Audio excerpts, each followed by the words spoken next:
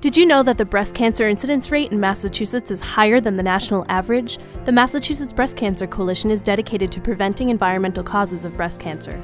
Their annual statewide swim, kayak, walk, or run fundraising event called Against the Tide will be held on June 21, 2014 in Hopkinton and on August 16th in Brewster. You can help make a difference in the lives of thousands of people affected by breast cancer. Register or make a pledge today at www.mbcc.org/swim.